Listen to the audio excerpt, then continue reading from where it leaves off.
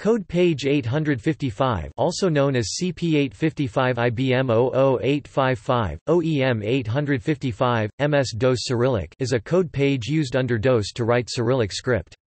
At one time it was widely used in Serbia, Macedonia and Bulgaria, but it never caught on in Russia.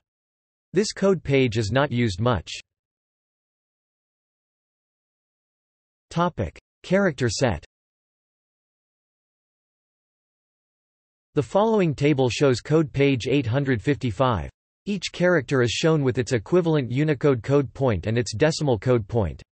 Only the second half of the table code points 128 to 255 is shown, the first half code points 0 to 127 being the same as ASCII, although code points 1 to 31 and 127 1 FHEX have a different interpretation in some circumstances, see code page 437. Topic. Code page 872 IBM Code page 872 is a variant of Code page 855, the only difference is that the euro sign euro replaces the currency sign. References